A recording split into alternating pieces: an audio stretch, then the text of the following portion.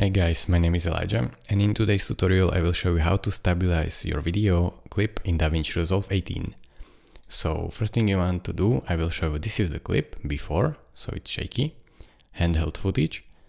And now click on it, go over here to this video tab if you are not already and if you, by the way, if you don't see this, then click here on this inspector as you can see, click it and then go over here and roll down this stabilization and here you have to hit stabilize.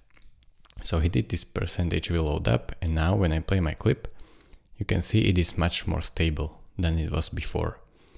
Sometimes it does this weird warping uh, effect, as you can see, and you can adjust it here by perspective, similarity translation, and adjust all these values to your liking and find the best spot for your video.